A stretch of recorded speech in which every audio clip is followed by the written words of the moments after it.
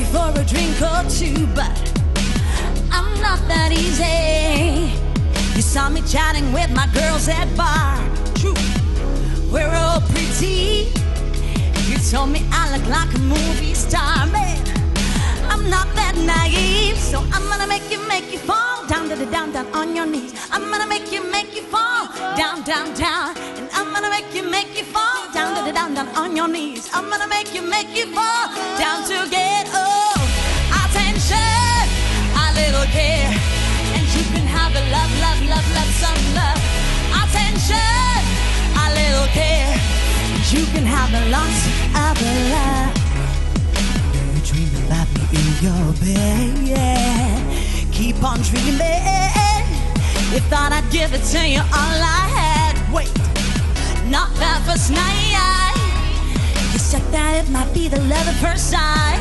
Babe, hold your horses. You told me you're the best I'll ever have.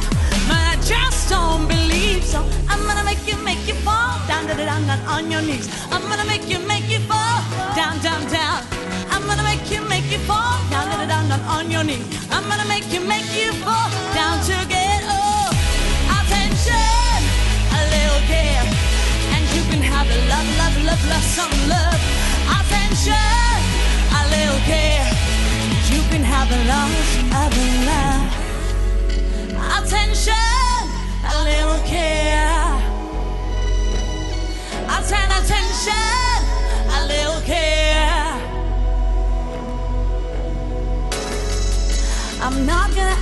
you buy me diamonds. No, no, no, no. Just behave yourself. Treat me very well. Hear me. Some attention, a little care, and you can have a love, love, love, love, some love. Attention, a little care, and you can have the loss of love. Attention, a little care, and you can have a love, love, love, love, some love. Attention, a little care, and you can have a lot of love. Attention.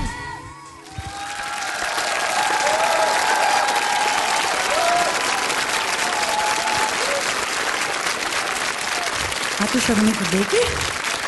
Vilija ir Šarūnas Kirdeikis. O dabar prieš atsakymus į visus klausimus paskutinės dainos vertinimas. Vilija ir Attention. Ramūnai, labiausiai matau susimastęs. Labai daug atsakomybės. Iš tikrųjų labai daug atsakomybės nuspręsti, kuri daina bus finale.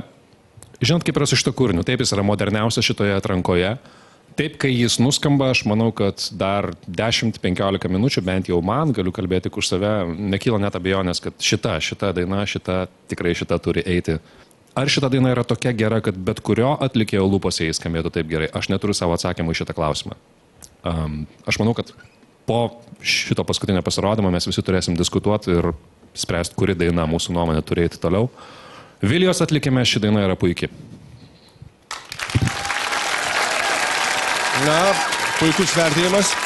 Man ši daina labai patinka tuo, kad joje yra daugiausia 21 amžiaus kvapo, lyginant su kitomis gan senoviškomis. Tai, kaip sakiau, tai yra pliusas, bet e, žiūrintiems vyresniems žmonėms, kurių nepaslaptis yra nemaža dalis žiūrinčių tą didžiąją Euroviziją, gali jiems atrodyti šiek tiek, sakyčiau, pernelyg eksperimentinis kūrinys.